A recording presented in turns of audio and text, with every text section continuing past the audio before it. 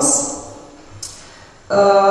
Sam projekt dakle, ima za cilj decentralizirati raspravu o održivoj mobilnosti i okuplja različite partnere iz Europske unije, a ovaj današnji panel je zapravo dio naše kontribucije toj raspravi odnosno raspravi o pravednoj mobilnosti na putu prema niskougljičnom društvu.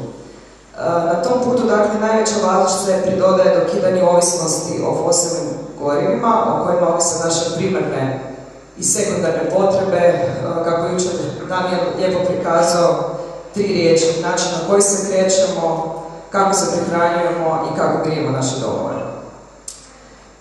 Transport dakle ima bitnu ulogu, međutim često podređenu u samom diskursu o pravilnoj tranziciji.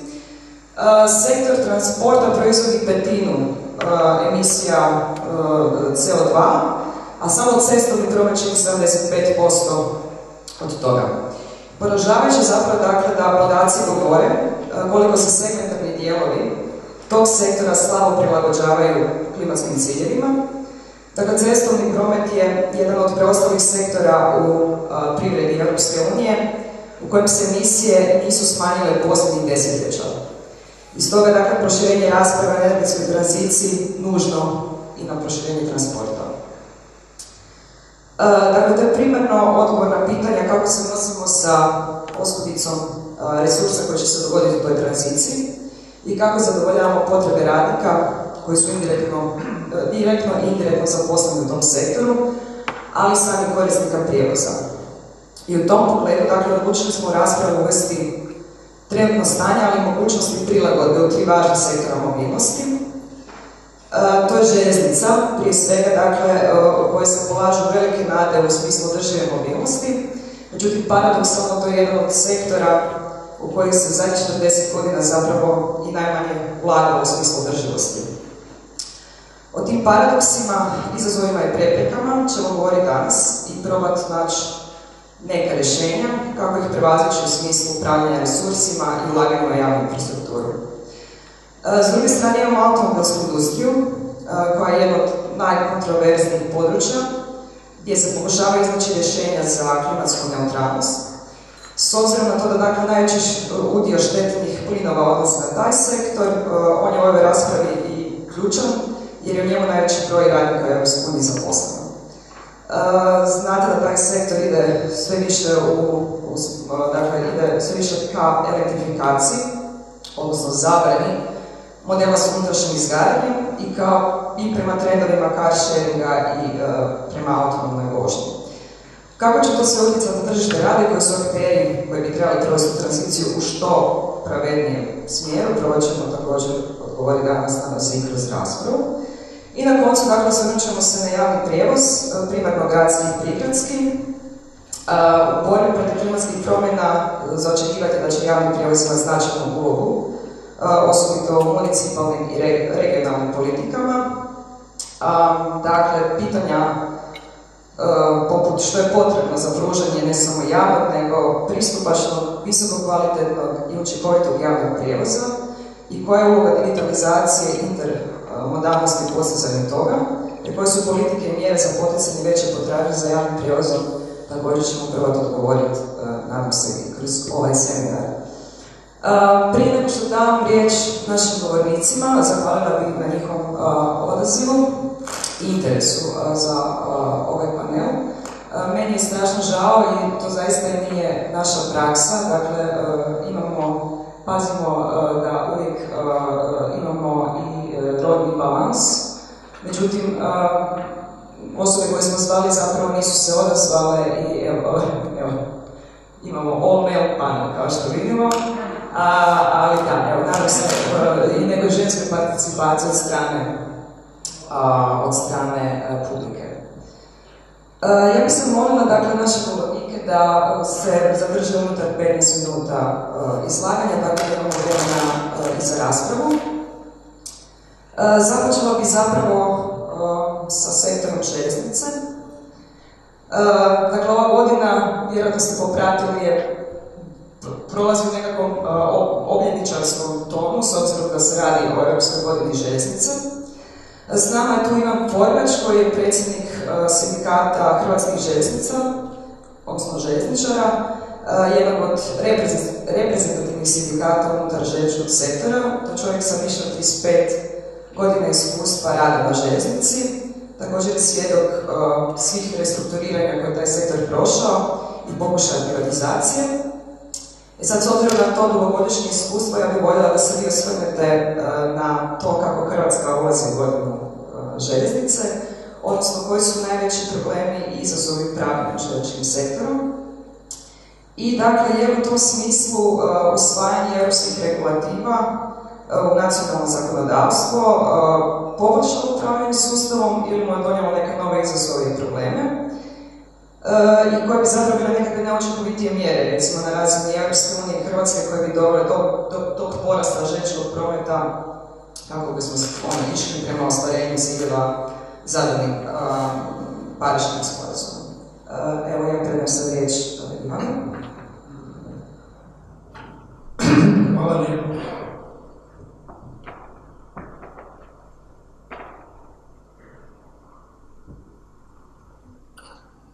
Evo, hvala na predstavljanju, ja bih vas sve pozdravio u svoje ime. Ovoga, ja sam predsjednik sindikata Hrvatskog željezničara i po sam diplomirani inženjer prometa. Hvala na pozivu, evo pokušat ću koliko mogu biti kratak izložiti ovo što se tu traži, znači prikazati mogućnosti, ali i probleme sudjelovanja željeznice u nekakvom budućem niskougljičnom društvu. Znači, naše željeznice su daleko ispod nekakvog standarda unutar Europske unije i negdje smo po kvaliteti željeznice na začelju. To je rezultat toga što je već rečeno, 30-40 godina izostanka ulaganja. Znači, mi imamo 2600 km pruga, od toga na 2000 km kasni kapitalno održavanje, to znači da su brzine one koje su bile zadane kad je, ne znam, Franjo Josip gradio ili netko drugi, te pruge one su sada smanjene, na njima se smanjuje nižom brzinom, na njima je i osovinski pritisak smanjen, pa je to problem i za prijevoz robe. Ono što danas Republika Hrvatska radi u tom smislu e, pokušava putem sufinanciranjem od Europske unije investirati u željeznice, no međutim tu imamo čitav niz problema i ja bih se najviše na to usvrnuo.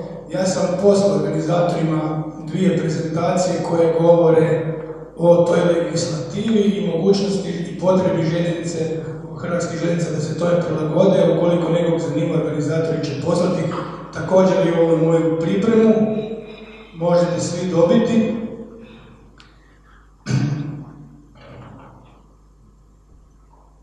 Dakle, mi imamo te 2000 km pruge na kojima zaostaje kapitalno održavanje e, na mreži kojom dnevno vozi 709 putničkih i 120 teretnih vlakova u prosjeku, od toga imamo samo oko 8% dvokolosičnih pruga.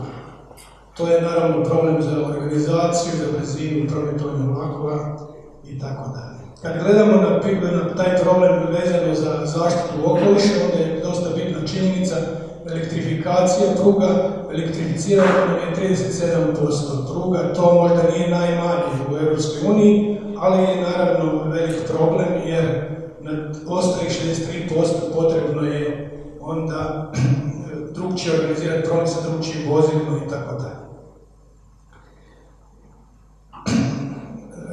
Pitanje se postavilo da li se može i ta europska legislativa poboljšati u smislu da, da nekako e, brže uđemo u to društvo, niskougljično društvo, da željeznica preuzme veći dio prevoza robe i putnika.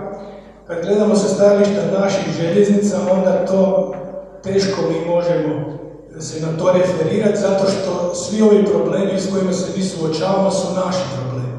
Dakle, mi imamo puno veće mogućnosti povlačenja sredstava za modernizaciju željeznice, ali nismo u stanju nominirati projekte zato što ih nismo u stanju pripremiti.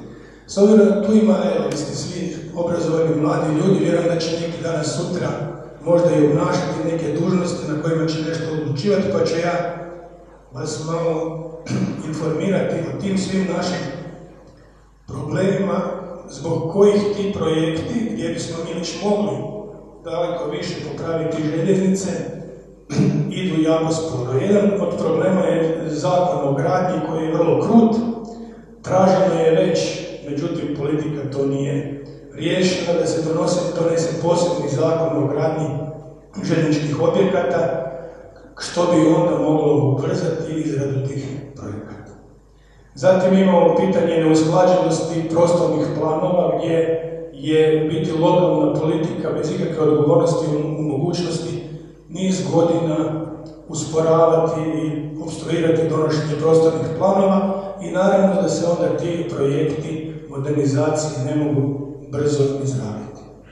Naš problem također, politički problem u državi je gustoća kolodvora i onda nemogućnost projektiranja pruga za veće brzine, to primjerice 250 km na sat, jer na tako kratkim relacijama to nema smisla, nema političke volje da se neki od tih kolodvora jednostavno ugase, odnosno da postanu samo prolazne stajalište za, za ovako lokalnih. Također je problem s kojim se suočavaju naši ljudi koji pripremaju projekte, to je, to je ovoga nasljeđe nesređenih zemljišnih knjiga i tu jednostavno izrada projekata i završavanje može se produljiti za više godina dok se svi ti e, problemi sa zemljišnim knjigama ne riješe.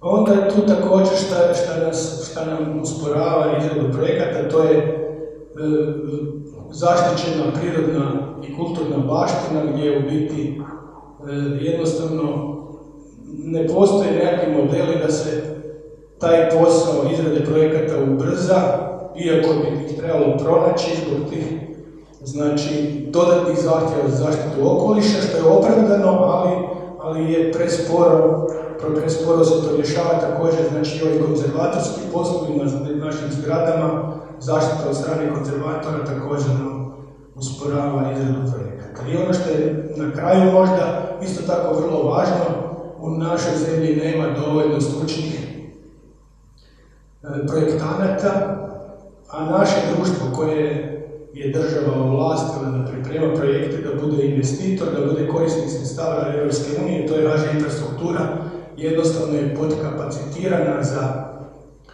za velike investicije i za velike projekte. I onda dolazimo do toga da jednostavno imamo jedan projekt na 50 km, za to vrijeme nam propadne u ostalih možda 100 km pruga, dakle presporo to ide i sa ovim tempom nećemo jako dugo obnoviti željeznicu.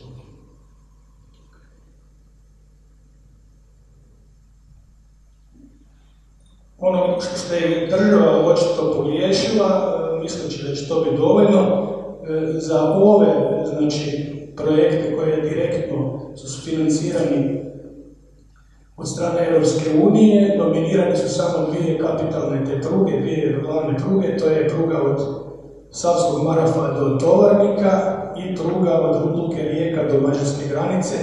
Ono što se sad već postavlja kao veliki problem, naročito za robne prijevoznike, je neriješeno, neriješeno sučenje na željeznicu, dakle tu se prvenstveno misli na industrijske kolosijeke i terminale koji se ne, nema izvora za financiranje da se oni obnove i grade, a nisu predviđeni da se nominiraju niti za financiranje od strane Europske unije.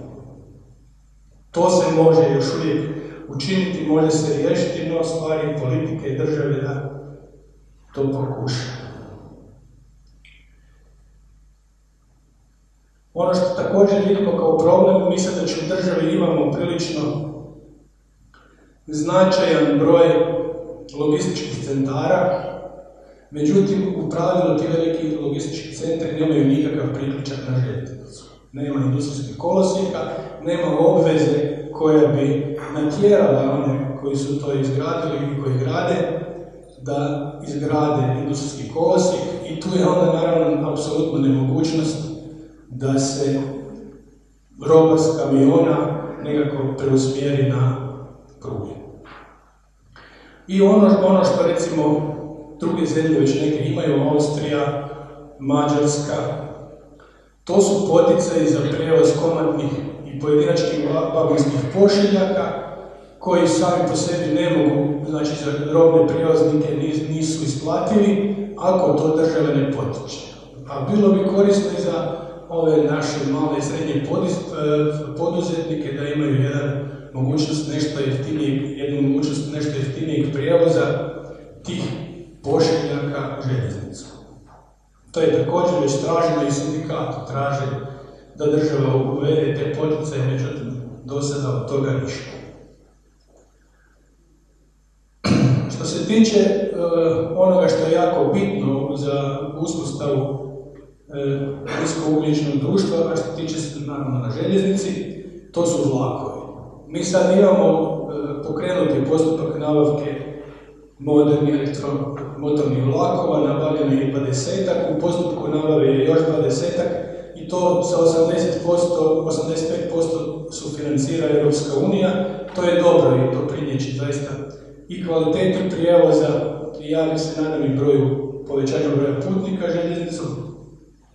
Međutim, nama ostaje 63% pruga koje nisu elektrificirane, gdje takvi vlakovi ne mogu prometovati i tu danas voze stari dizel motorni vlakovi, a u nekim slučajevima voze i one velike, teške dizel lokomotive sa nekoliko putničkih vagona, koje zaista i izrazito onečišćuju okoliš. I sad, s obzirom da su druge zemlje već nabavljale više puta vozni park, obnavljale vozni park, mi nismo, tu nam je sad šansa da ne napravimo tu grešku, da smo prije 5-6 godina ili 10 krenuli, sigurno bi kupili dizel motorne vlakove. Sad je prilika da to ne učinimo, da krenemo na kraćim relacijama nabavljati baterijske vlakove koji se proizvode, znači električne na, baterije, to je dobro za kratke relacije. Postoji nekoliko mogućnosti i potrebe gdje imamo znači, jedan dio neelektrificirane pruge na, na jednoj relaciji, a drugi dio je elektrificiran. Postoji ti kombinirani vlakovi koji imaju onaj pantograf, koji mogu ići preko na elektrificiranoj pruzi, a dodatno imaju baterije kad pređu na neelektrificirano. A za duže relacije, tu sam mišljenja i mišljenja struke, da je, i da se može, da je potrebno pristupiti nabavi vlakova na vodnik. To je prvenstveno kod nas pruga od Ogulina do Splita, koja je dugačka i teška i tu nikakvi baterijski vlakovi ne mogu prometovati, ali vlakovi na vodnik bi mogu. I znači, smatramo da također se tu mogu povući sredstva Europske unije za sufinanciranje nabavke tih vlakova, na taj način bismo mi zatvorili ovaj dio i kvalitetno riješili prijevozne sredstva za budućnost što se tiče prijevoza putnika.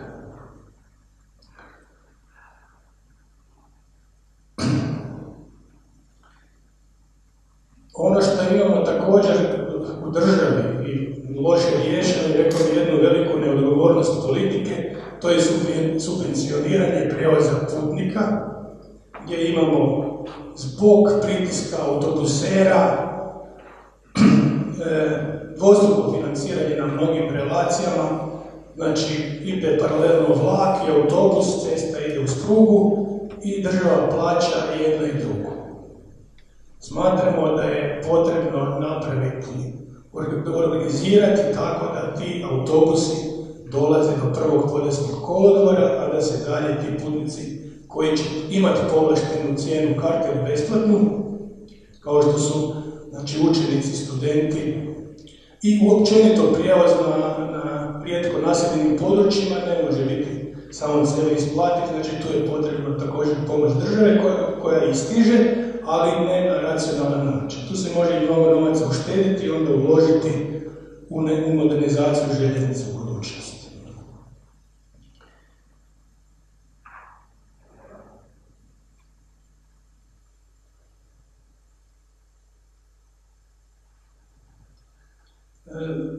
S obzirom da mi nemamo samo prijevoz putnika koji je još uvijek, znači, makar slijede liberalizacije u prijevozu putnika, još uvijek je državna tvrtka i to država samo nabavlja i prijevozna sredstva. Imamo već možda 7, 8 ili više robnih prijevoznika, privatnih i nacionalnog prijevoznika HŽ Cargo.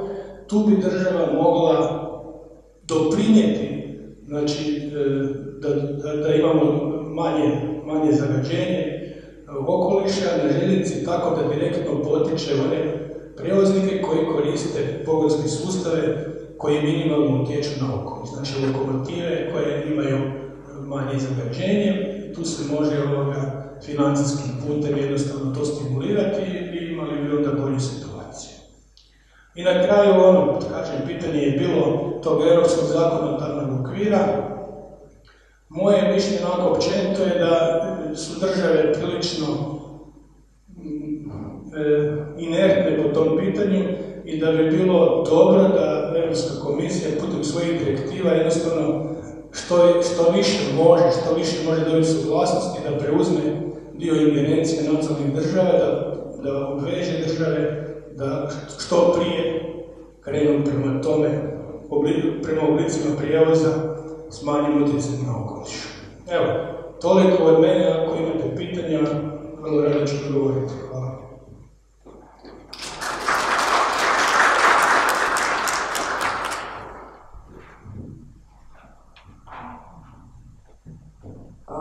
Hvala Ivanu na iznimno rigorozno držanju vremena za izlaganje i tehničkim nekakvim zapravo i, i ono, vrlo nekim sitnim detaljima koje čak i ono, nismo ni mi znali kad smo radili analizu upravljanja, tako da zahvaljujem. Prelazimo dakle sad na a, prelazimo na autoindustriju. S nama je Tibor Mesman. Tibor je istraživač i aktivist sa trenutnim sjedištem u Budimpešti. U fokusu njegova interesa su radni i sindikalni uvjeti, odnosno kolektivno pregovaranje i zapošljavanje u postsocijalističkom periodu. A, najviše se bavi područjem Mađarske, ali i regije Istočne Europe. Tibor trenutno gostuje kao istraživač u Institutu za radičke studije Centralne Europe i Slovačke. To su inače naši partneri na projektu o tranziciji u autoindustriji, o čemu ćete moći čuti više vi koji ćete doći popodne na radionicu. Tibor se dakle recentno bavio preseljenjima radnih mjesta u autoindustriji iz Europskog centra prema periferiji, uh, gdje je promatrao institucionalne uvjete, ali i aspekte organizacije rada koji su tu promjenu pratile. Budući da je to, da bi ovo bilo možda prvi put da se predstavi jedno takvo istraživanje ovdje u Hrvatskoj, mislim da je ovo neka prva prigoda. Ja bih možda voljela da se osvrneš na nalaze e, istraživanja poduzećima i zapravo što se dogodilo sa kvalitetom radnih mjesta koja su prebačena u Mađarsku iz Njemačke. I zapravo na koji način, s obzirom na sve to i neko tvoje iskustvo u proučavanju radnih odnosa, u kapitalno intenzivnim industrijama, što možemo dakle očekivati po pitanju postizanja klimatski neutralnih rješenja, što bi značila pravilna tranzicija, je li to uopće i nekako ono, tema možda u, sektoru koji se proučava? Hvala Ja sam upravo ujutro pričao za Dorušku kako lepo je teško biti ovdje na Milionima i pričati o ovoj temi mobilnosti, pravedna tranzicija, mislim da je nastav današnjeg panela i moja prva asocijacija na mobilnosti i pravednu tranziciju je zapravo uh, ko je smestio Zeki Roger ovaj film. Možda znate taj ovaj film koji je snimljen krajem 80-ih. To je, a jako hibrid, hibridna, ovaj, hibridna hibridni film, zato što spaja animaciju i, i, i igrani film, tako reći, a u backgroundu, u pozadini je jako zanimljiv zapravo, industri, zapravo historijski uh, period poslije drugog svjetskog rata koji se kako odnosi na, na transformaciju moderne industrije i, i na, na transformaciju javne željeznice. Naime, radi, radi se o tome kako se uništavao, planski uništavao i, i skidale trašnice u Los Angelesu iza drugog svjetskog rata, znači Los Angeles je nekad imao tramvaje ovaj, kao što evropski gradovi imaju, a kako je automobil probijao ovaj, svoje tlo, kršio svoje tlo, tako su, su ovaj, interes bio da, da to bude ipak uh, oruđe te najnovije. Tako da se sa tog stanovišta jako mi je drago da ovaj, imam, ovaj, da mogu da se na neki način i, i, i, i, da, i da se na, na, nadovežem na pitanje železnica, na, bar ovako na indirektan način. Hvala na pozivu i na ovim pitanjima. Ja bih malo ipak proširio ovu priču zato što i pa, uzimajući obzir o čemu smo pričali i jučer već, čini mi se da je jako bitno da razumemo o čemu, koji jezik govorimo, koje termine upotrebljavamo, pre nešto krenemo dalje, dalje u, u nekoj evaluaciji što se dešava u autoindustriji i pitanje te takozvane zelene tranzicije u autoindustriji, onda bih se na, na samom kraju osvrnuo na neka svoja istraživanja, nalaze i trenutna, uh, trenutne observacije. Znači, ono što, da, mislim, u, samom, problem tranzicije, to je već juče donekle izraženo da tranzicija jeste jako problematičan termin, pogotovo na našim prostorima, ali nije samo na našim prostorima. Koji su politički ekonomisti kažu, to su već rekli početkom 90-ih da tranzicija ima, zna šta želi kao cilj da ostvari i na koji način to želi ovaj da ostvari. Meni se čini da ne znamo ni, sami još taj, taj cilj i šta to podrazumeva i na koji način to, ovaj, to postići. I zbog toga, naravno, transformacija ili transformacija uvek je jedan pogodniji termin za to. A mimo toga, iskoristio bih isto priliku da ukažem na neke pojmovne okvire koje, uh, koje nam pomažu u mišljenju same te transformacije ili te promene ili te krize u, u, čemu, sam, u čemu smo trenutno. Uh, I recimo ta teorija ta teorija kapitalističke regulacije je pogotovo korisna u svemu tome, pogotovo što, što barata sa nekim zakonima koji su sve prisutni i koji, na koje mislimo često, ali nekako uh, ne promišljamo njene praktičke implikacije, tako reći. I ta, i ta, ta, dva, ta dva zakona su uh, po Michelu recimo, dobro to opet ima dispusa i, i, i nije, nije ovaj, ta škola regulacije jednoznačna, ima tu dosta ovaj, i diskusije o tome, ali znači na koji način se kapital sam stvara, to je jedno pitanje, ključno pitanje i kapital se naravno stvara na, odnosu uh, platnog odnosa, znači na, koji način proces rada se ispoljava, na koji način se to ovaj, vrednost na koji način se stvara, prelijeko kapital i tako dalje.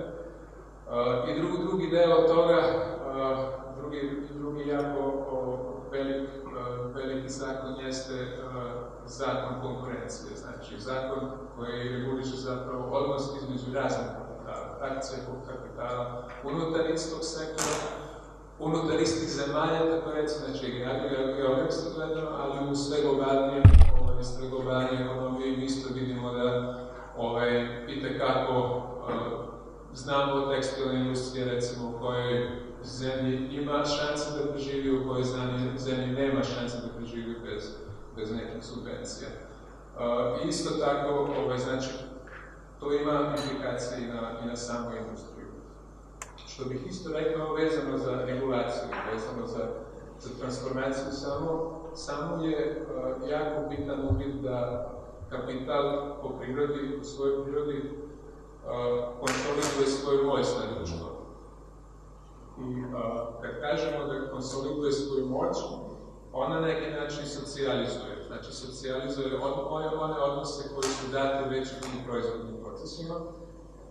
I naj, i najzanimljivije, najoštrije što se tu izražava, da ona reguliše i sam način života radničke klase, znači ljudi koji zapravo stvaraju, stvaraju Taj deo se jako dobro, tu imamo već jako dobre analize iza drugog svjetskog rata, kad je takozvani Fordizam nastao, uh, i kad vidimo i to recimo neko zlatno doba, uh, kad kažemo do, do, do, do, do to je država dobro, blagostanje.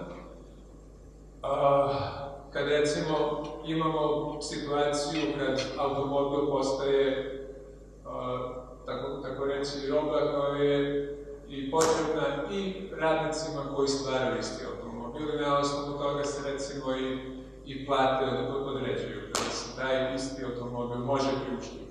Znači to je recimo jedan od tih, tih, tih izraza. Uh, izraz takozvane uh, klasnog u tom statnom periodu je kolektivno pregovaranje, jel, tako? To je opet, naravno, to ima, ima ove razlike da li, da li se to reguliše, na kom nivoima se regulišu, da li je na nivou preduzeća, sektora ili čak i državnom nivou i to recimo u Evropi, u evropskim državama pogotovo možemo pratiti ove, ne neke, ne, neke zna, značajne strukture po podržavama koji način se to reguliše i dan danas. Drugi deo je pitanje autoindustrije. I autoindustrija u tom nekom kodističkom zlatnom dobu i za vreme rođena, recimo, jeste bio ovaj, ključni, znači, jedan ključan, ključna roba, znači, ključna kapitalistička roba u tom trenutku. Poslednjih 30-40 godina nije više. Znači, posljednjih 40 godina IT industrija, pitanje ovaj, stvaranja informacije, softvera i, i, i drugih produkata jeste centralno, znači to je puno centralnije. I u, u najboljem slučaju automobil postaje jedan, jedan hibridan produkt. Znači nešto što ipak uključuje, znači dalje jako kompleksan produkt, ali, ovaj, ali pokazuje uh, prilično puno uh, oprečnih uh, tendencija. Autoindustrija isto postaje krizna industrija. Znači, ono što kod autoindustrije vidimo je da nema više stabilno tržište. Uh, I sam automobil, uh, tip automobila koji se, ovaj, koji se proizvodi, se isto menja. I najnovije recimo da što se auto tržišta tiče, sve više ono što možemo vidjeti jeste da su luksuzni automobili koji postaju imaju jedan stabilno tržište. Mislim, to je opet jedno jako, jako zanimljivo i jako, tako kažem, ovaj, izražena situacija koja opet ukazuje na tu krizu, na, tu, na taj krizni moment.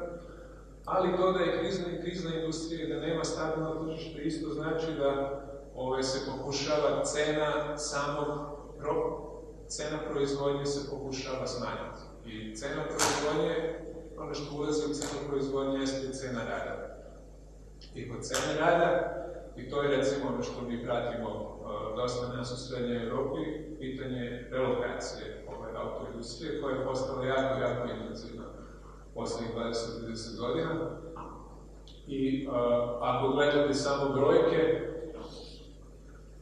znači, trenutno Srednja Evropa proizvodi iza Nemačke najviše, najveći broj ovaj, automobila unutar Evropske unije i broj premeštenih radnih mesta je ubedljivo najviše. Znači, jedino Nemačka još ostaje ovaj, kao, kao glavno mesto proizvodnje, ali, ali države, mogli bi smo reći, te male države ovaj, Evrope postaju glav, glavno mesto gde se automobili proizvode.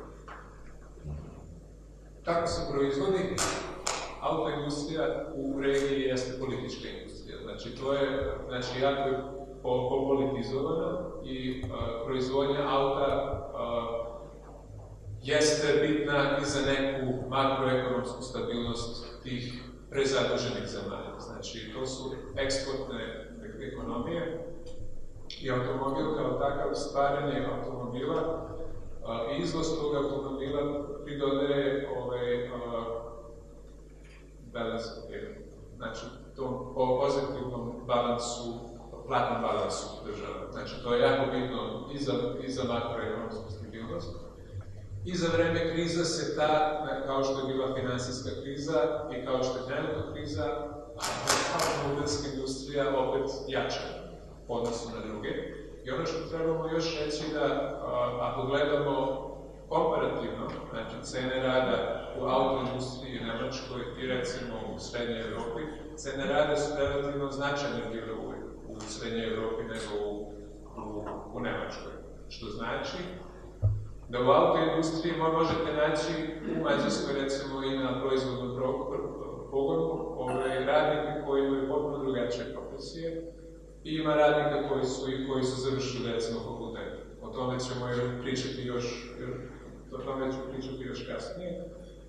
Uh, ali generalno, znači to, to pitanje relokacije jeste jako značajno i to se i dan danas postiče, znači postoje jako velike subvencije, znači železnice ne dobijaju subvencije, ali autoindustrija dobija ogromne subvencije i konkretno u slučaju Mađarske te subvencije nisu ni transparentne.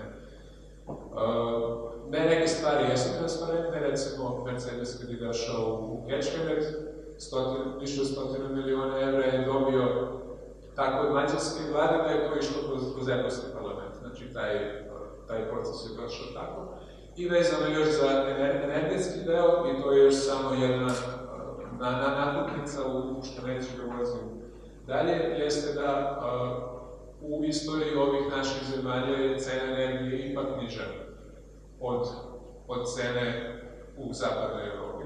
I u zapadnoj Evropi je uvek bilo, znači, posle prvog svetskog rata su uvek pokušavali na, na, naći te kreativni načini da se koristi na najbolji način dok, dok recimo ovde socijalizmi su se ipak gradili na najjeftinijem ovaj, resursima koji su do, do, dobijane iz Sovjetskog savjeza, odnosno kasnije Ruske, Ruske federacije.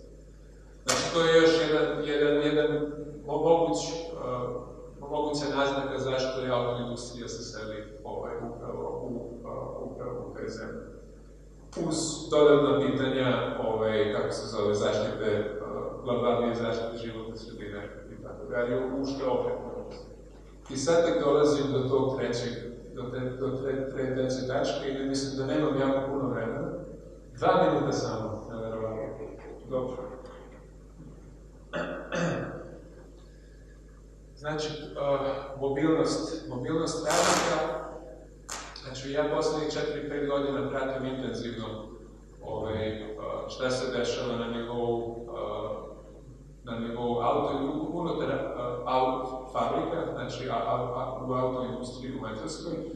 Znači, kako u fabrikama koji su sami autoproizvođači, znači original equipment manufacturers, ali i njihovi izvođači, to su uglavnom gledano s polja izvana, to su crne kutije gde ne znamo šta se dešava unutar. Vidimo, a kad ja idem tamo i kad idemo aktivistički, recimo, to su kao košnice koje u nekom, u nekom, nekim trenucima, kad je promena smena, iznenada vidite autobusi dolaze u jednom, u jednom, u jednom od tih ovaj, velikih tvornica bilo 173 autobusa koji su vozili radnike na, ovaj, na, na mesta u radijusu od 70 km. Znači, to je, možete zamisliti kako to izgleda. Ali ono što sam ja isto pratio je uh, pitanje agencijskog rada. Znači, agencijski rad je isto izražen i pitanje radničkih domova. Znači, radnički domovi isto, ovaj, uh, isto uh, dolaze u, u, u celokupnu tu priču i radnici koji dolaze iz trećih zemalja. Znači, trećih zemalja, to znači ovaj, a, iz zemalja koje nisu članice Evropske unije. I, uglavnom sam se bavio sa koleganicom ovaj, radnicima iz Ukrajine i Srbije. S njima smo radili intervjue i, i gledali i promene u, u, u, u u uslovima rada i u samim ugovorima i gledali znači, i tu vrstu rizike i iza, iza fluktuacije.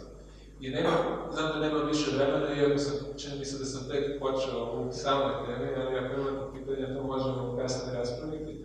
Ali samo još jedna jako bitna stvar, što, ovaj, što je Nikolina postavila u samom uvodniku, što si postavila, ovaj, da je cilj celokupnog, celokupne i radionice zapravo da dođemo do tog nekog nivoa ljudi i da, i da idu i sa decentralizacijom, ali i sa nekom širinom dijaloga, uključivanjem u, dijalog I recimo, kad bismo pričali o, zelenoj tranziciji sa, sa radnicima, ja, meni je utisak, ja sam ubeđen u to, da zbog pretporašnih interesa, znači, zato što se ti, ti ljudi ove, sistematski drže iznad vode ili, ili tek toliko da mogu disati iznad vode, ove, ta priča ili ta veliko pitanje se ne može ni postaviti njima.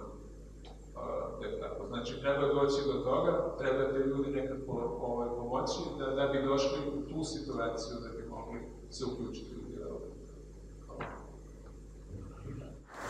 Hvala Tiboru na uh, uvodu u političku uh, ekonomiju industrije, uh, ali i masu pitanja koja su otvorena. Uh, nadam se ćemo ih proći kroz raspravu, ali stvarno i pozivam na današnju radionicu ima mnogo sličnosti sa našim istraživanjima koje smo radili, tako da vjerujem da ćemo tamo imati puno prostora da dalje nastavimo ovu raspravu i ja se radim u tome, tako da slobodno se pridružite.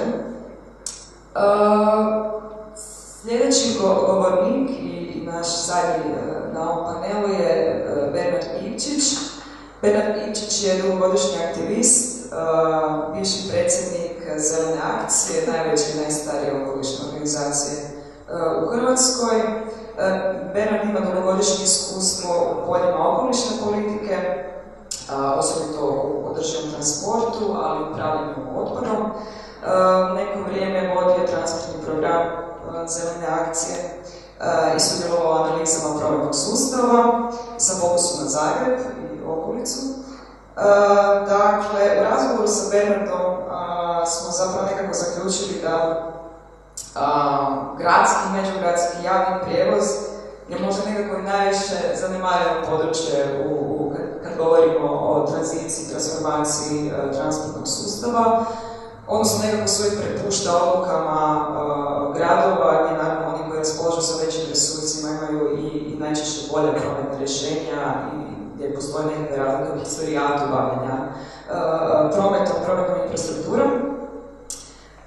Dakle, ja bih voljela zapravo da onda Bernard se osvrne na to što je potrebno da se javnom transportu prati uloga bitnog aktera u promicanju održivog prijevoza, konkretno u zagrebačkom slučaju, što misli da su problemi s kojima se susretao i mislim da će promjena koju smo evo, imali priliku svjedočiti u svibnju ove godine, dolazak zeleno-lijeve opcije na vlast u Zagrebu, biti taj nekakav kanal mogući za ostvarivanje i promicanje prava na e, javni, ali priuštivi, e, visoko kvalitetni i učinkovit e, javni prijevoz. Dakle, što će trebamo shvatiti sve kao javni prijevoz, ako možeš ono možda povezati neke priče i možda se sve čak nekakva sredstva, moderne tehnologije koje bi tome pripomogla.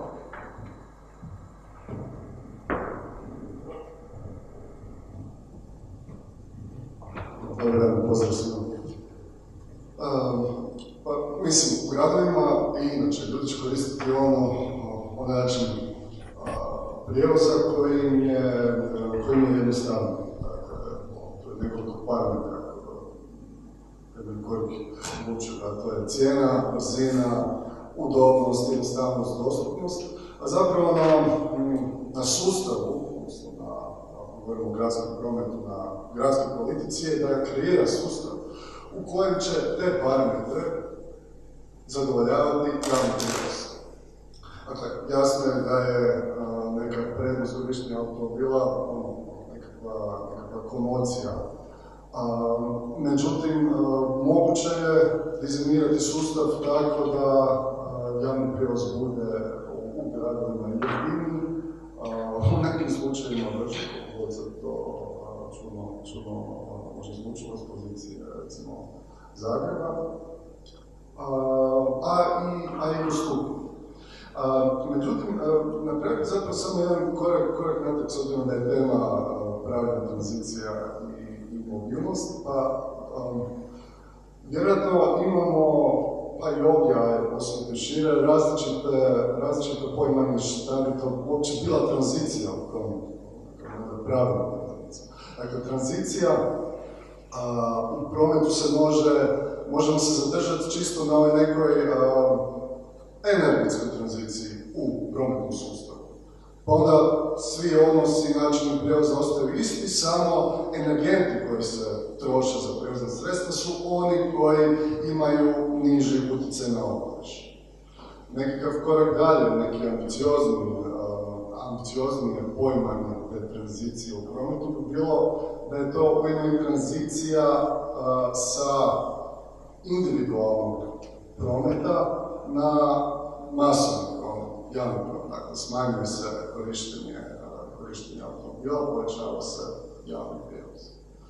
A neki još ambiciozni pristup bi bio da se smanjuje broj putovanja na koje se koriste motorna prijevozna sredstva. Dakle, u ovoj prvoj varijanti, u kojoj se radi samo o energetskoj tranziciji, dakle, postoji na razini, na razini različitih strategija, različite strategije se zapravo uglavnom fokusiraju na to. Pa se uvodi termin alternativnih goriva, pri čemu alternativna goriva i u europskom i u hrvatskom zakonodavstvu obuhvaćaju među ostalim islačeni prirodni plin, ukupljeni naftni plin, koji evidentno nisu neka baš posebno država goriva, radi se o posebnim gorivima koji imaju nekako negativan utjecaj na okoliš. Kada govorimo o, o vodiku, isto trebamo znati da trenutno vodik, dakle postoji puno različitih vrsta vodika, prvenstveno je razlika u tome na koji način se dobiva, to koji energent se koristi kako bi se u konačnici dobio vodik. Pa je tako zeleni vodik onaj kojeg hoćemo, dakle tu se za proces elektrolize koriste obnovljivi izvori energije, i u konačnici se onda dobiva zeleni vodik, međutim trenutno u svijetu se otprilike 1% svog vodika je taj zeleni vodik, većina su neke druge boje, crni, sivi, plavi, dakle radi se o korištenju ili plina, u nekim slučajevima ugljena kao energenta kojim bi se proizveo taj vodik.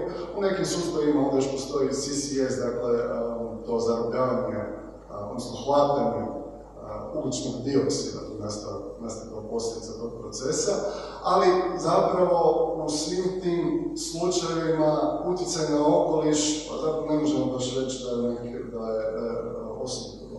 Mislim da vodik generalno bi trebalo koristiti za neke, neke sektore koji su, koje je vrlo teško, koje je teže dekarbonizirati od cestovnog, poput, na primjer, pomorskog zračnog ili u nekim slučajevima željezničkog, dok bi za cestovni, dok za cestovni promet, mislim da je u tom, opet, gledajući isključivo taj tehnički dio, bolji proces za dekarbonizaciju je elektrifikacija. Međutim, i tu, naravno, postoje problem, dakle, u posljednjih 20 godina, recimo, samo gledajući Hrvatsku, broj broj automobila je porastao za nekih 40%. Broj, dakle, ukupan broj sredstava je porastao za preko 50%. I uz tako ogroman porast u posljednjih 20 godina, Hrvatska je dalje po motorizacije, odnosno broju automobila na tisuću stanovnika, među nižima u Europi. Dakle, u Hrvatskoj ne znam, 430 automobila na tisuću stanovnika.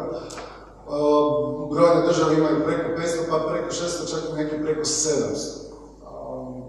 Što onda je različiti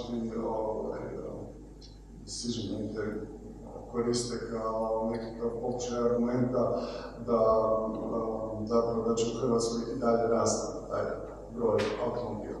Dakle, ako se zadržimo samo na ovom na ovoj prvoj razini, dakle ako promatramo tranziciju u prometu isključivo kroz, e, kroz prizmu energetske tranzicije, to onda znači da se nadamo, ne znam, u idućih 10, 20 ili 50, znači 30 godina da će primarno automobili biti elektrificirani, ali da će ih prema postojećim strategijama i projekcijama biti još znatno više nego, nego sada. Naravno, ono, tržište, dakle, Hrvatska je relativno mala, ali kada se gleda na globalnoj razini, to stvara ogromne pritiske, među ostalim, dakle, ne samo na proizvodnju električne energije, koja bi onda isto dakle, trebala biti dekarbonizirana, nego i na crpljenje kobalta, nikla, i sličnih materijala koji su potrebni za toliku količinu elektrifikacije, koji onda opet imaju, što onda opet ima negativan utjecaj ne samo na okoliš, nego i na lokalne zajednice koje se nalaze na, tim područjima. Što je onda opet dosta vezano uz pojam pravilne tranzicije, odnosno na koji način je to pravilno za njih. Ako govorimo o ovom nekom ambicioznijem varijanti, dakle prebacivanju na, na javni prijevoz, tu je, tu je definitivno šansa za, osobito za grada srednje, i velike grade. Naravno, on, neki manji gradovi, gradovi koji općine sa niskom gustoćom naseljenosti, teško je, teško je u njima uspostaviti toliko dobar, dobar i kvalitetan sustav javnog prijevoza koji bi potaknuo ljude da ne koriste automobil. U čemu je također potrebno primijetiti razliku između toga da javni prijevoz bude dovoljno razvijen da ljudi manje koriste automobil kojeg posjeduju, dakle i dalje imaju automobil, i dalje su potrošeni resursi za proizvodnju tog automobila, i dalje taj automobil 23 sata dnevno zauzima 12 do 15 kvadratnih metara površine, ali ga vlasnik koristi nešto manje nego inače, zato ima dobar razvijeni javni prijevoz, pa koristi javni prijevoz. Dakle, ta situacija i situacija u kojoj je, recimo, javni prijevoz do te mjere razvijen da raste broj ljudi koji odlučuju ne posjedovati automobil uopće, pa onda nije potrebno koristiti energiju za proizvodnju, nije potrebno imati mjesto za, parkiranje, nije potrebno nakon 15 godina ili koliko taj automobil jednostavno ne postaje smeće, ne treba ga ne treba koristiti negdje za njegovu reciklažu, iako je sustav reciklaže što razvijen, ali i on traži svoj, i također ima svoj negativan utjecaj na, na, na okoliš. Dakle, veliki gradovi, srednje veliki gradovi tu imaju priliku uspostaviti, uh, uspostaviti sustav prijevoza koji bi, koji bi uh, smanjio potrebu za, za putničkim kilometrima. Postoje, postoje također uh, plan, dakle, potrebno napraviti razliku između individualnog javnog prijevoza i masivnog javnog prijevoza. Znači, ovaj individualni javni prijevoz, uglavnom postojećim okolnostima ta, taksi prijevoz. Tu postoje, postoje naravno planovi za razvoj sustava autonomnih vozila ono, koji bi reagirali on demand. U takvoj nekakvoj, recimo, vrlo ambiciozno razvijenom sustavu u kojem zaista možete, možete računati da će u svakom trenutku koji vam treba prijevoz od točke A do točke B će tako vozilo biti dostupno i u kojem je recimo takav sustav cijenovno sličan ili možda čak prihvatljiviji u usporedbi sa time da ste potrošili novac skuplji automobil, trošite novac na održavanje, registraciju, osiguranje i, i, i sve ostale troškove koje imate. Takav sustav, dakle, ambiciozno razvijen on-demand autonomnih vozila koji uz to imaju i električni pogon bi naravno imao manji, takav program sustav bi imao manji utjecaj na okoliš postojeće. U smislu da je potrebno manje površine za infrastrukturu, za parkiranje, isto tako da električni energija ima manji, manji utjecaj. Međutim, i dalje putnički kilometri ostaju, ostaju slični. Dakle, prometnice, na prometnicama ostaje, ostaje slično, samo ljudi nisu vlasnici tih automobila kojima se voze. Zbog toga je zapravo ovaj masovni javni prijevoz neka šansa za, za smanjenje korištenja individualnog, individualnog i javnog prijevoza, ali i automobila koje, koje ljudi posjeduju. U Zagrebu, a mislim, ne, neću puno govoriti zapravo o Zagrebu, ali mislim, tamo je javni prijevoz pod, pod investiran u posljednjih 20 godina. Bila, bila dakle, prije 15 godina onaj veliki, veliko ulaganje u nove niskopodne tramvaje. Oni su doduše imali svojih, svojih problema, dakle, vuku su tri puta više struje, veće opterećenje po osobini, brže trošenje tračnica i tako dalje. Bilo je čak i nekih financijskih malverzacija u cijelom, u cijelom tom postupku, nekih lažnih netočnih obećanja. Što se tiče autobusa, trenutno, mislim, posljednjih godina se nabavljaju autobusi na plin, koji opet, a, nisu nešto zeleni, dakle, potrebno je, potrebno je zapravo nabavljati električne autobuse, ali u prvom redu je potrebno širiti mrežu tramvajskih linija. Međutim, kako mi stiče vrijeme, zapravo rekao bih još nešto i ovoj posljednjoj, posljednjoj, naj, najambiciozniji pristupu tranzicije, a to je smanjenje broja putovanja korištenjem motornih vozila u gradovima. Tu je nužno napraviti, tu je nužno zapravo promijeniti sustav prostornog planiranja. A kako i pravo na grad, ovaj, um, dakle, se, za akcijom bavimo sustavom prostornog planiranja, potrebno je zapravo kreirati policentrične gradove u kojima će se dobar dio potreba kako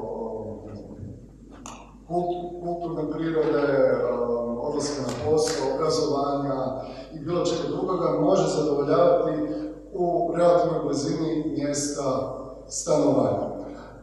Tu je, recimo, postoji primjer takozvane ABC, lokacijske politike, koja je u Nizozemskoj prije 30 godina bila ugovorena većim manjim uspjehom, ali barem u teoriji postoji usklađivanje namjene zemljišta i prometnog profila onih zgrada koje se na tom području grade. Na primjer, uz linije masovnog javnog prijevoza pretpostavlja se da ljudi koji će, dakle, kada se, kada se, kada postoji potreba za izgradnju neke zgrade, izrađuje se prometni profil. Dakle, da li je to prvenstveno stambena zgrada gdje je bitan pristup ljudima bez potrebe, ne znam, pristupa teretnih vozila, ili je obrnuto, dakle, radi se, na primjer, o velikim, o velikim, o velikim nekretninama, skladištima, nije teretnim vozilima, a zapravo frekvencija dolazaka, frekvencija dolazaka ljudi nije, nije tako velika. I onda se uz trase javnog prijevoza kreira i dozvoljava gradnja onih objekata koji odgovaraju, koji imaju prometni profil, koji zadovoljava te kriterije da se na njih dolazi prvenstveno javnim, prvenstveno javnim prijevozom. Onda se ograničava uz takve zone broj parkirnih mjesta koje se, grade, zato je pretpostavka da ljudi koji tamo dolaze neće za svoje putovanje koristiti automobil, nego će koristiti javni prijevoz ili, ili bicikl. Za razliku od ovih nekih, recimo, skladišta koje se onda ne mogu graditi tamo na u blizini stajališta javnog prijevoza, nego se rade, recimo, u drugim dijelovima grada. I još što da mi stiče vrijeme samo, što je vezano, evo minuta, ok, vezano uz i rana, pravilnu tranziciju prometu i radna mjesta. Dakle, da, u Hrvatskoj zapravo nemamo neku razvijenu auto, autoindustriju, osim što rade, pretpostavljam, nekoliko stotina ljudi u, u svetoj nedelji. Međutim, dakle, on ne promijeni sustav kakav želimo imati za, ne znam, 10, 20, 30 godina, je promijeni sustav u kojem jednostavno ima manje automobila. Ako ima manje automobila, to znači da manje ljudi radi na proizvodnji tih automobila. E sad, bez obzira što to ne zahvaća, što ostvarenje tog nekog idealnog sustava, ne zahvaća u većoj mjeri zaposlene u Hrvatskoj, zapravo ima nezanemariv utjecaj na ova posebna radna mjesta. Dakle, sustav,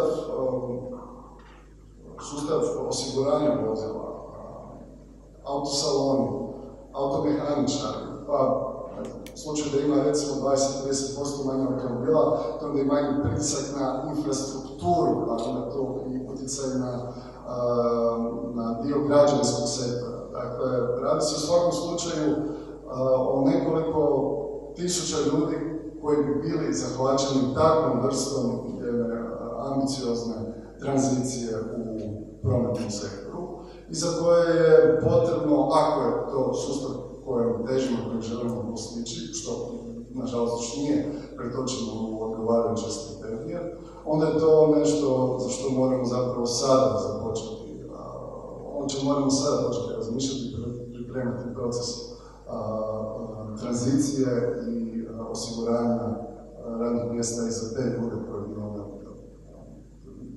ja znam, te postali trebali onda početi raditi neka druga stranizanja.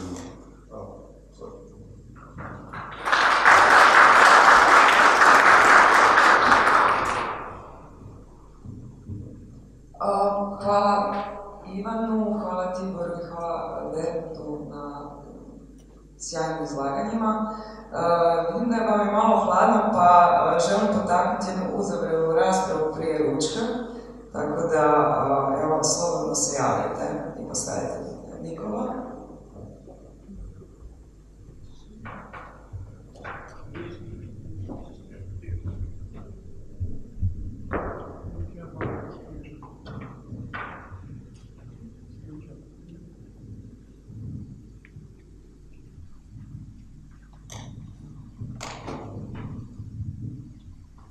Hvala. E, dobar dan, imam pitanje e, vezano za ovaj, čini se, najambiciozniji, e, najambiciozniju tranziciju prometa i povezano zapravo sa suradnjom HŽ-a i lokalne samouprave.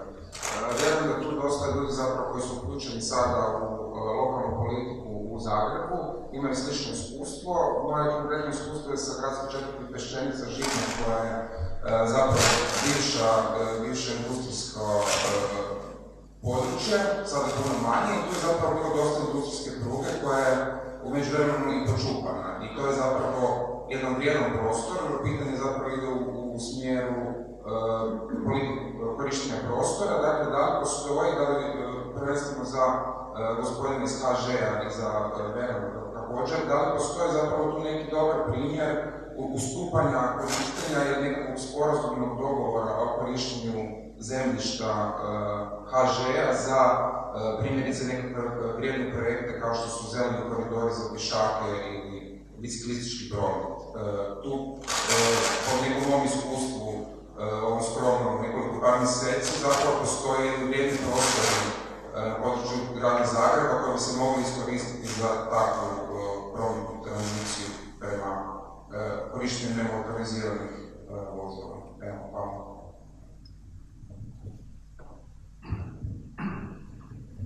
Samo, uh, samo da vidimo ovoga, možemo uzimati, ako, ako je to u možemo uzeti dva, po dva pitanja, pa onda možete odgovarati kako vam je adresiram. Puno hvala. A, ja imam pitanje za prvog, prvog iz HŽ-a. Zanima me koja je uloga Europske komisije u cijelom tom. A, znači, ja mislim da u više država, više država na, na istoku Europe ne postoji kapaciteti da se na neki način sprovede tranzicija. I pitanje je sad, znači, da li, komisija nešto tu uzima serijalno, da li, da li to uzima ozbiljno, da li pokušava na neki način izgraditi kapacitet, da li pokušava, znači, biti u kontaktu sa raznoraznim grupama iz civilnog sektora, sa, sa, a, sa a, u biti, da li sindikatima, da li na neki način, znači, jer, mislim, sve je to ok, da, da, neki, da neki način države moraju graditi vlastiti kapacitet, ali u biti mi sad više nemamo baš vremena da gradimo kapacitete znači mora se na neki način ta tranzicija izrealizirati bez obzira na nedostatak kapaciteta u polovici Evrope. Tako da, a, mislim, zanima mislim do koje mjere komisija to stvarno uzima ozbiljno, do koje mjere, isto, jučer sam imala jednu konverzaciju gdje u biti a, često vlada i znači vladni aktori pokušavaju isključiti civilno društvo iz, a, iz znači, diskusija o tom što se predlaže. A, tako da, mislim, ostavlja se sve većinom na nekakve velike a, konsultantske firme. Tako da, do koje mjere, znači, e, e, Europska komisija vidi te probleme, do koje mjere nešto na to pokušava raditi, a, jer ako, mislim, ako se sve ostavi na države, mislim, nemamo šanse. Hvala.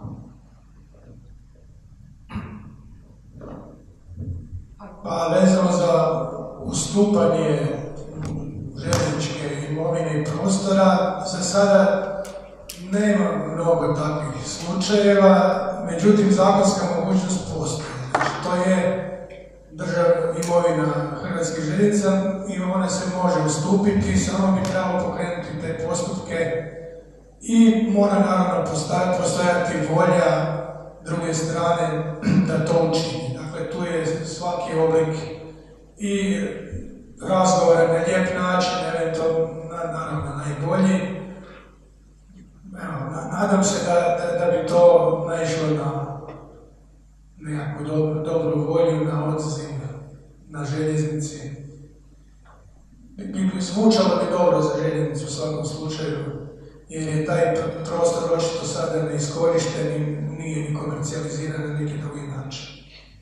Evo, možete, ako imate tu ideju, ja isto mogu pomoći da dođe do onih ušiju do kojih treba. Pa javite se.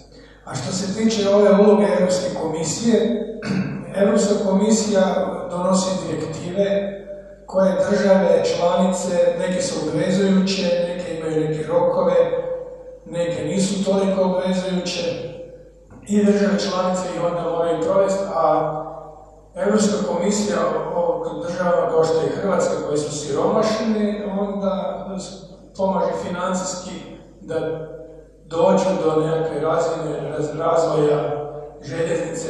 Mi naravno, dobro ste rekli, kasnimo i teško možemo u kratkom roku stizati e, do nekakvog cilja da, da željeznice zaista preuzme ulogu koju bi trebala imati i u smislu ovom ekološkom i u smislu ekonomskom, rekao bi kao nekakav motor dalje razvoja zemlje. Međutim, nekako e, van toga ja ne vidim ovoga da se Europska komisija uključuje sama, osim što, znači, osigura sredstva za projekte koje mi sami nominiramo, koje mi sami izradimo i onda tražimo financiranje.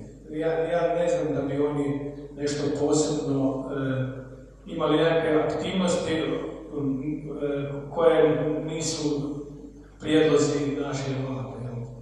Za sada takvih aktivnosti nema. Što se tiče uključivanja civilnog društva pa oni uključuju sindikate, sindikati koliko jesu civilno društvo. A što se tiče ovih e, drugih udruga, nekakve velike volje od strane naših, našeg vlade, ministarstva prometa, za sada ja nisam uočio.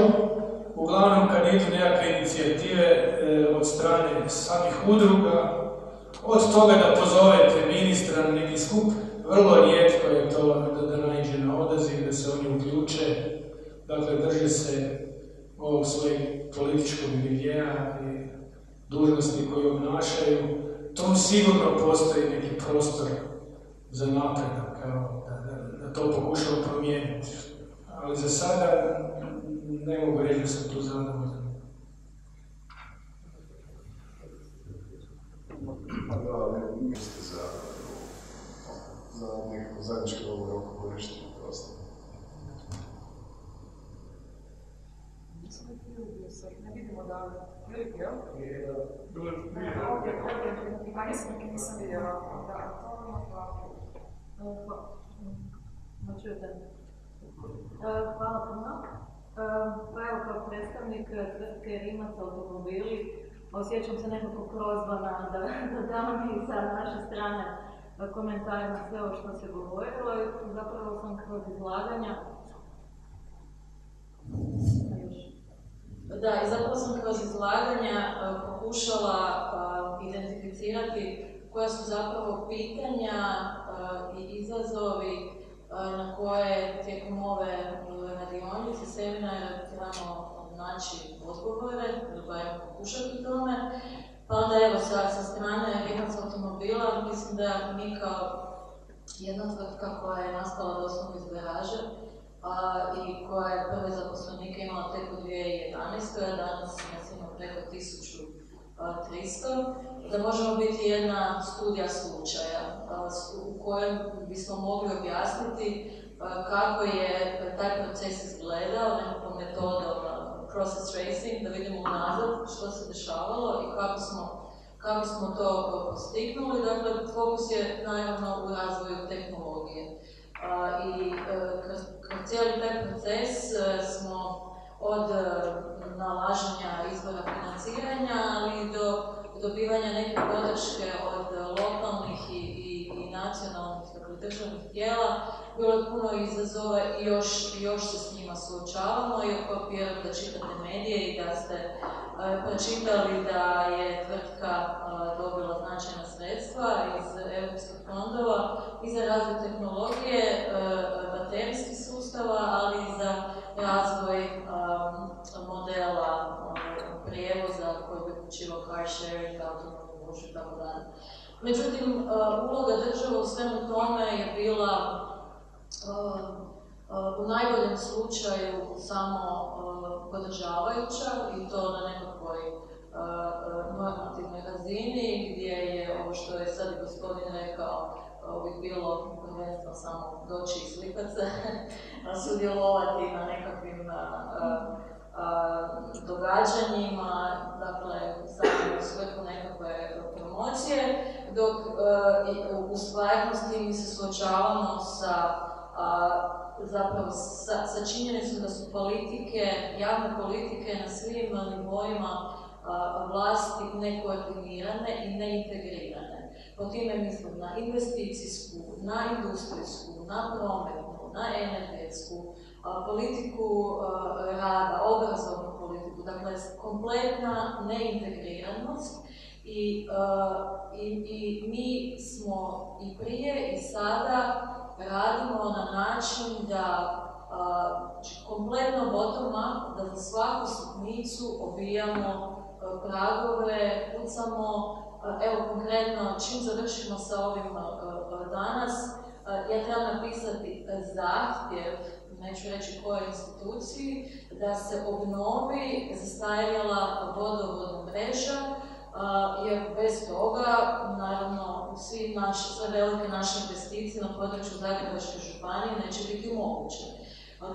Da, da li bi to oni napravili bez da mi samo tražimo i, i participiramo zapravo ma, skoro pa 100% u, u toj investiciji, znači ono što nam treba su nam dozvole, suglasnosti, suradnja, komunikacija, tijela na terenu, da se, što se tiče prostornih planova, dakle da se to sve skupa uskladi, da takva investicija može biti e, e, moguća. Evo imala sam prilike sama sudjelovati u jednom istraživanju gdje sam sa 13 država, što članica Europske unije, što izvana, što je uopće izvan Europe, da napravim operativnu analizu ponuda koje su nam nudile, da preselimo kompletnu proizvodnju i, i uopće pogone, dakle istraživanje i razvoj te države. I, I ponude koje smo dobivale su bile ključ u ruke. Dakle, od kompletne infrastrukture, zapošljavanja radnika, subvencija u ogromnim iznosima, sve ovo što je Tibor čini mi se spominjao. I, I najbolja ponuda je sigurno bila i od Slovačke, koja je nudila i, i jedan od svojih atraktivnih faktora, jedan od atraktivnih faktora spominjala i pristup radnoj snazi koja je jeftinija i od, od drugih država gdje su radnici spremni raditi po noći u tri smjene i tako dalje i tako dalje, ali gdje država sufinancira i takozvani kurzarbeit program, znači ako tvrtka ne radi svih pet dana ili, ili ako ima bilo kakve smanjene pogone, gdje država onda subvencionira ostatak, ali evo da sada ne duljim, mislim da suma sumarum Hrvatske vlasti ni na kojem nivou ne participiraju u olakšavanju uopće ulaganja, a, pogotovo onda nije ulaganja u ovakve projekte i ovakve firme koje mogu dugoročno osigurati i, i zelenu transformaciju i kompletnu promjenu modela prometne e, politike konkretno. Tako da, evo, zapravo sam ja više dala nekakav komentar nego pitanje, zanima me vaše mišljenje na to sve i e, evo, da, dajem prijedlog da, da možda e, se obradi nekako posebno i ta, i ta tema konkretnih primjera i, kako se na, na njima može učiti da se e, politike e, na svim nivoima nekako e, bolje integriraju, da se budući takvi projekti mogu lakše izvesti. Hvala.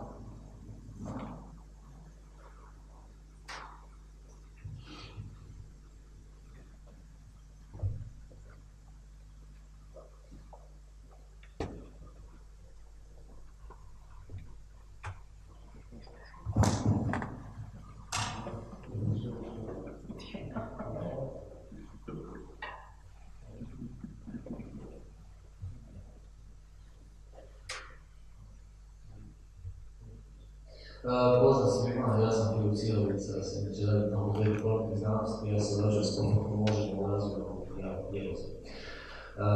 Htio bih se samo osvrnuti smo prvo izlaganje kolege iz sindikata željezničara, i pitanje također njemu.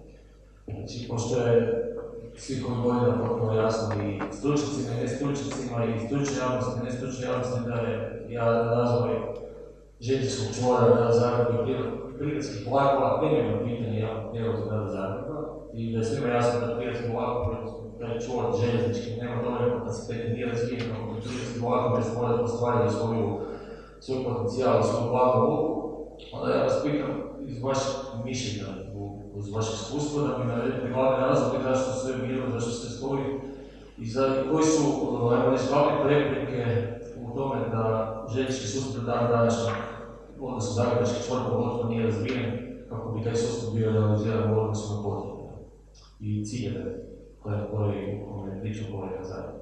Eto, hvala. Mikrofon pomoćao. Ja ću samo dati kratak komentar na komentar. Ovaj, a, meni je zapravo jako bitno i ono što je najbitnije u ovom komentaru da se otvori rasprava o, o, o takvom uspješnom slučaju. Uh, šta znači u tom konkretnom ovaj, uh, to je u, u, uh, automobilima, znači ako je razumijem dobro, 1300 radnih mjesta, to je jako značajno. I to je na neki način slučaj koji svakako iziskuje otvorenost i dijalog celog društva. I recimo, sa, drugog stanovišta, sa mađarskog stanovišta bih rekao da taj tog dijaloga nema.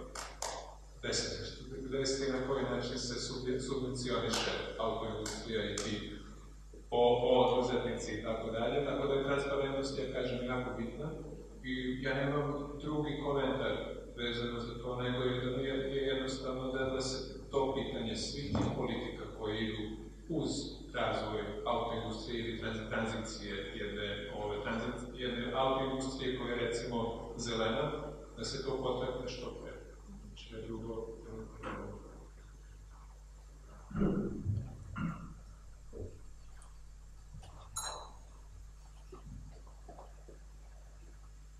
Što se tiče e, Zagrebačkog željezničkog čvora, on je također žrtva toga da država zapostavlja željeznicu jako dugo. Najprije zbog rata, pa gradnja autocesta, pa je onda trebala točno reći željeznica, je onda 2008. došla do velika kriza, pa ni tada nismo došli na red.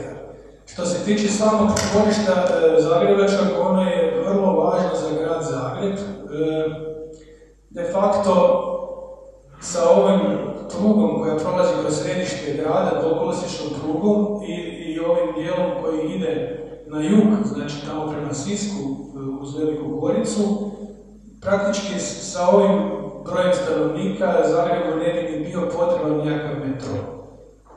Po mojem mišljenju. E, mi već sada imamo e, vrlo dobar red vožnje i, i dosta gusti, prevozimo mnogo putnika od drugog sela do Savskog Marafa, Prema jugu je potrebno još infrastrukturu poboljšati i prema znači, zračnoj luci i prema e, bolje povezati Veliku Goricu, e, uvesti još neka stajališta i tu je jedan dobar potencijal da se ovaj e, prijevoz građana grada Zagreba i, i ovog jednog šireg dijela putem željeznice ovoga poboljša, naprijedi. Sad već imamo i vozni park koji je dosta dobar. Međutim, naravno, od same izgrade Zagreb glavnog kolodvora koje je nacionalna sramote, ja bih rekao kako je, do e, e, ostalih stajališta, e, stanje je zaista loše. Što se tiče same pruge, ovaj dio na istok, on je moderniziran i dugo godina se neće tamo više ništa ulagati. U građevinskom dijelu, u elektrotehničkom je sada iz ovoga fonda za oporavak predviđena zamjena sigurnosnih uređaja e, i, to će doći na red, to je oprema stara preko 50 godina i već nema niti ljudi koji to znaju održavati, tako da će se to zamijeniti. E, također je predviđeno iz tog dijela e, ovaj popravak pruge na zapad, također rekonstrukcija. Tu su sad postale dvojbe i mnogi ljudi su razmišljanja da bi prugu u cijeloj dužini, praktički od Sesveta pa tamo do već iza Podsuse, do prema Zaprašiću, trebalo denivelirati kako bi onda se cestovni promet mogao lakše odvijati e, izgradnjom običnih prolaza.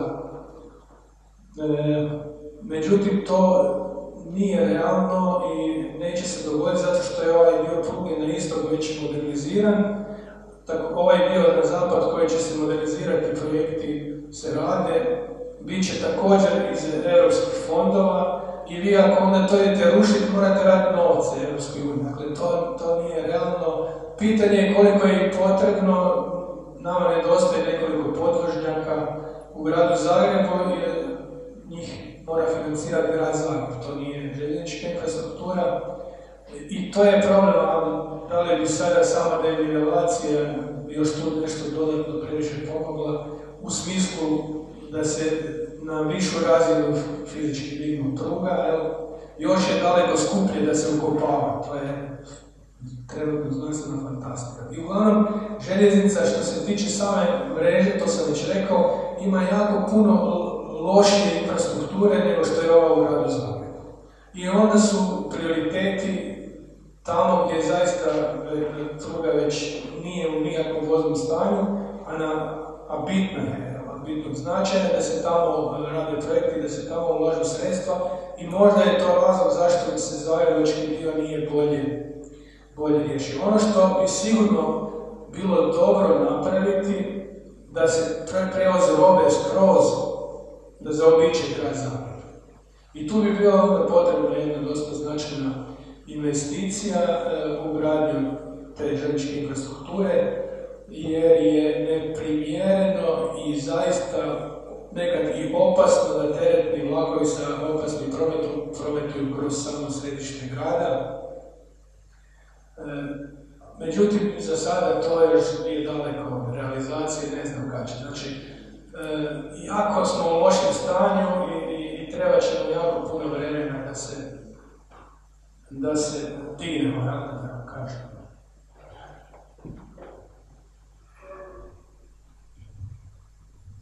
Branko i možemo ovoga uzeti još pitanje dva. Malo ću produžiti ovoga, s da smo počeli kasnije. Evo zvoli. Hvala. Uh, prvo pitanje, možda ne znam za Tibora i Bero, nekako me i kolegica iz Rica malo ponukala. Kažete zelena auto industrija, rekli neki dan da to neki oksimoron. Uh, što bi zapravo zelena auto industrija? Kako nastaju zeleni uh, ili drživi automobili?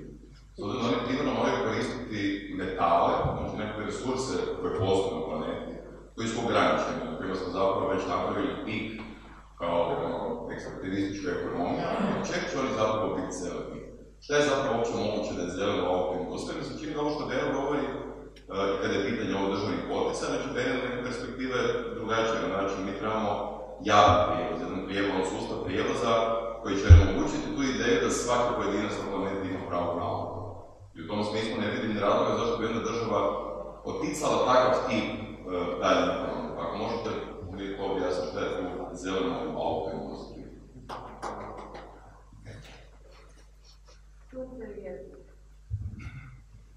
Uh, je li imaš koja boja, jel?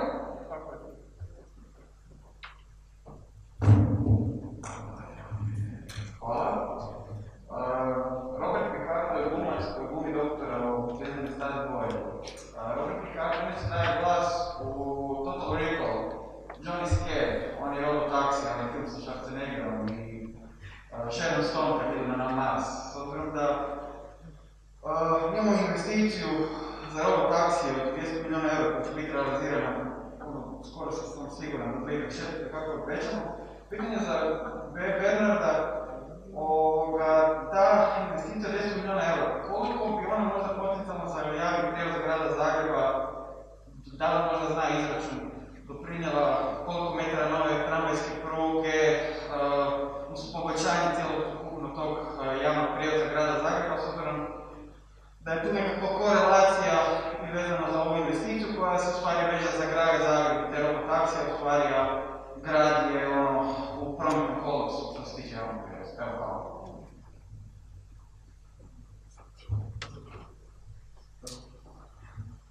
Imamo li još? I dobro. Dobro. Sulavi, neću se ja hoću. Pa jedno jednostavno pitanje, kako šta se.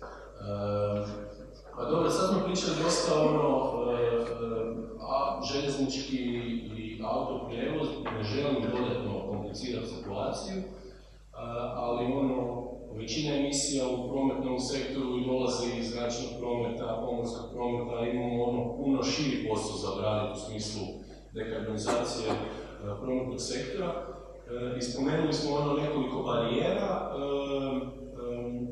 koje u kontekstu Hrvatske postaju još kompliciranije što smo čuli u željezničkom sektoru, pa možda za pitanje, pitanje za svakog od sugovornika, u nekom kontekstu dekarbonizacije u smislu nekog ono low picking fruita.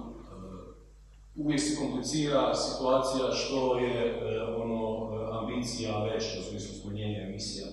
Ali da dođemo do nekih 20% smanjenja emisija u prometnom sektoru, što je bila ono prva ili dvije stvari koje bi trebali napraviti. Jo, čisto ono iz neke frustracije osobne kao, e, e, proizlazi da i u svakom podsektoru koja funkcija automobila i na koji način se taj automobil proizvodi, očigledno je Ovako je bolje? Ali ste me čuli, ne? Ovaj, znači, naravno, ja bih rekao da postoji zelenija, svakako postoji zelenija autoindustrija. Znači, to je moja, moj, diplomatski odgovor. Uh, industrija i deindustrializacija i šta znači zelena industrija je recimo drugo pitanje, sa, ja očigledno sad pokušavam squaring the circle, ne znam kako je to na jeziku, kako, to, kako bi se to predalo, ovaj, ali pokušavam sa dva različita ovaj, ugla približiti ovaj, pitanje zelene, ovaj, zelene autoindustrije. Znači, sa, sa jedne strane, autoindustrija, proizvodnja automobila svakako može biti zelenija. Znači, jedna je stvar, jedna je stvar na koji način se sam automobil proizvodi. I apsolutno se slažem da treba ispitati i te materijale iz kojih se ovaj, ti novi modeli koji idu na, ovaj, na elektriku, šta to znači za životnu okolinu. To je opet jedno veliko pitanje koje je pitanje litijuma, recimo, nije istraženo niti je dovoljno prodiskutovano u dovoljnoj meri. Druga je stvar, naravno, nakon tih proizvodnje, na koji način je ta roba potrošna i koliko nije. Mislim, koliko mi znamo, automobil je, je postalo i ta, ta vrsta potrošnog sredstva koje traje 3-4 godine pa se baca. Sad je opet pitanje da li nam treba automobil koji će biti ovaj, biti dobar na, na, dugoročnoj stazi. I recimo car sharing je recimo u tom smiru, u tom smislu verovatno bolja opcija nego individualizacija. Ali ja bih opet rekao da postoji potreba za automobilom. Barem u toj tranziciji, nekom, nekom prelaznom ciklusu, ovaj, dok se nađe ta vrsta, recimo, set, no, nov set mobilnih sredstava koje koristimo recimo u budućnosti, koji uzima u obzir ovaj, emisiju i tako dalje. Znači, ja, to, to je moj prvi ovaj, odgovor. Postoji svakako zelenija ovaj, autoindustrija i svakako nam treba informacije o tome i o proizvodnji, i o kvalitetu automobila, i o potrošnji, i kome je potrebno i zašto je potrebno. Znači, zbog toga mislim da jeste neophodno, barem u ovom ovaj periodu.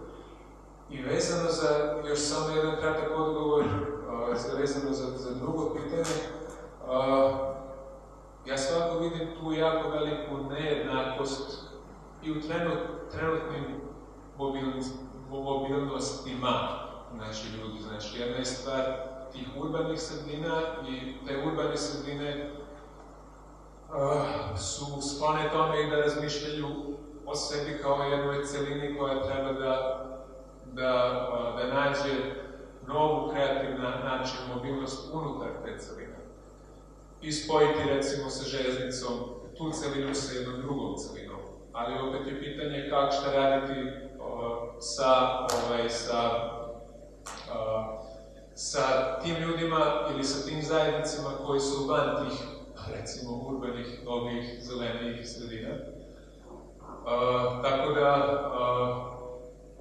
u, uzimajući i, i, i to u obzir, pa ne znam, ja mislim da trenutno uh, treba misliti o nekim novim sredstvima, recimo električni bicikl je jedan od stvari i, i, vidim da, bicikl je, je vrlo ove značajno sredstvo trenutno, a, a avion, avionski transport uh, bi trebao bar da se ovaj, žestoko oporezuje to je jedna od, stvari. Sad, okeanski transport i, i brodni transport,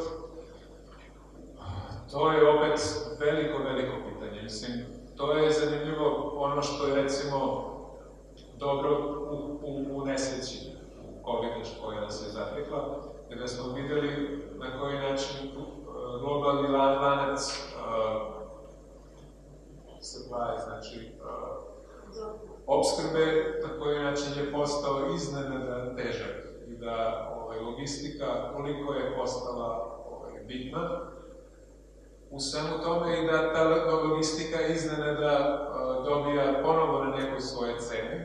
Uh, I videli smo te teretnjake, te teretne brodove koji su rasli i, uh, i u tokom kriza, ovaj, ranijih kriza, koji su postali svetovi po sebi. Mislim, to je isto potpuno neverovatno.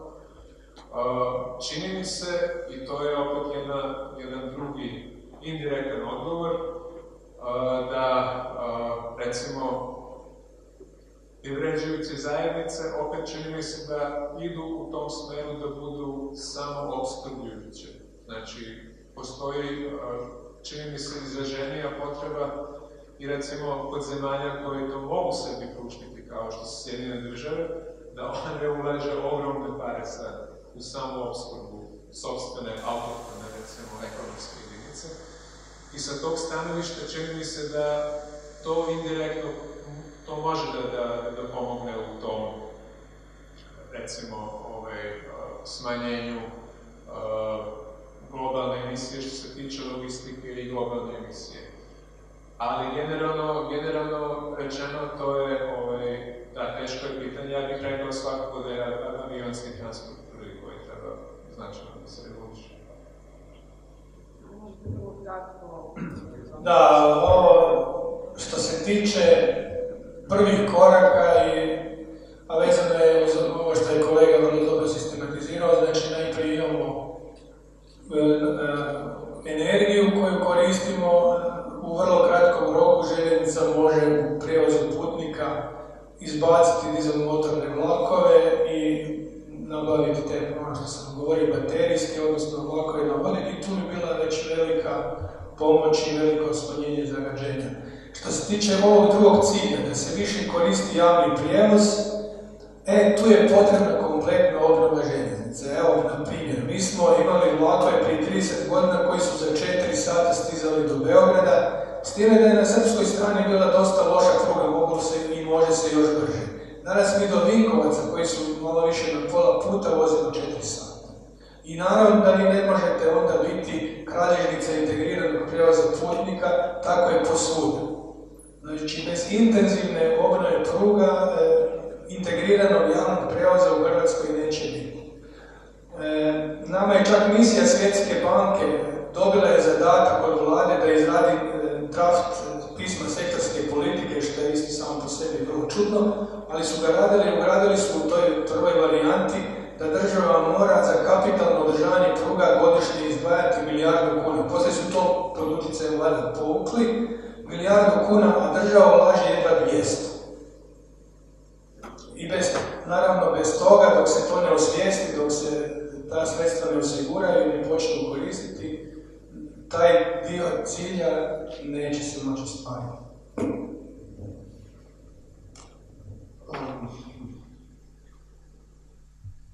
Um, šta su zeleni automobili? Um, to je Mislim, jedan automobil nije u potpunosti uh, zelen i zapravo je to termin koji je rezultat nekakvog društvenog dogovora, s tim da će unutar ra različitih društava biti na različitim mjestima postavljena ta letvica uh, koje razine zelen.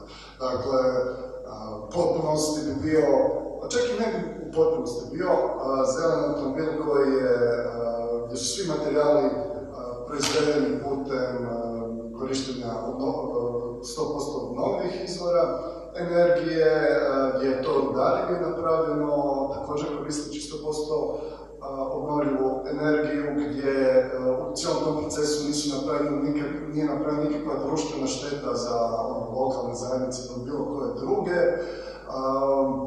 Čak i da je ta prometna infrastruktura napravljena koristeći mehanizaciju koja je koristila 100% obnovljivu energiju, opet ostaje onaj aspekt da je prije tog betona tamo bilo nešto zeleno, pa je eto tu nastao na nekakav negativan efekt. Tako da, mislim, to je rezultat gdje ćemo postaviti tu granicu što je zeleno, ovisi dakle, nekakvom društvenom dogovoru.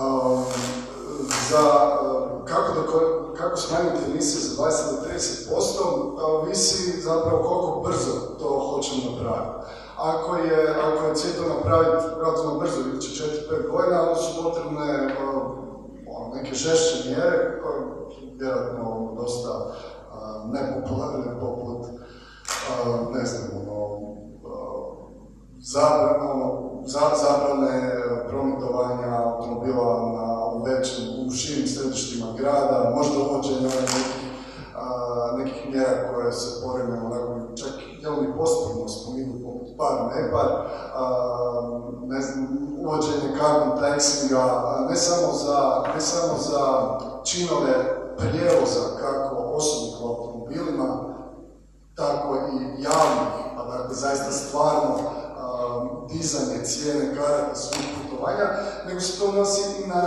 teretni promet, a onda reflektira i na sve proizvode koje, koje kupujemo. Uh, I dakle, dizanje onih cijena, ovisno, dizanje cijena onih proizvoda koje su, uh, koje su imale, znači ne samo proizvodnju, nego i transport na police uh, emitirana veća, veća emisija. Kako bi bilo ono društveno prihvaćanje takvih mjera, a ne znam, o tom, o tom. Ako imamo više prostora za, za tako nešto, onda naravno da su, uh, da su moguće važne mjere, edukacije i takve stvari, ali naravno da je naglasak na sustav. Dakle, ok, dobrim dijelu se to odnosi na promjenu našeg načina funkcioniranja života i navika, ali naglasak je na sustavu koji treba omogućiti da te promjene budu lakše i, i, uh, i jednostavnije. Um, da, mislim da je potrebno prvom redu poticati, subvencionirati ulaganja u uh, javni prijevoz.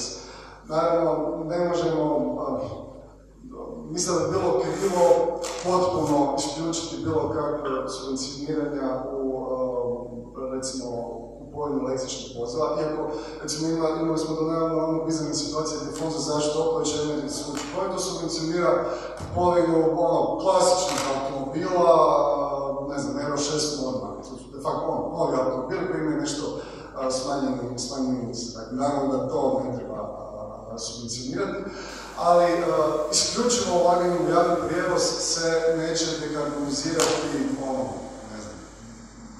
dobar dio, dobar dio onih putovanja u malim srednjim gradovima je ono, vrlo teško, ako ne nemoguće u narednih a. Pa imam par stvari za reći. Ovaj, uglavnom, u velikim gradovima svakako je potrebno um, u prvom redu uh, subvencionirati ligani prirosti, dakle Z uh, u dobro mjeri je subvencioniran i ne mislim da je problem što grad subvencionira Z, problem je što taj Z nije kvalitetan, ali to je drugi par da nam se da će se uspjeti.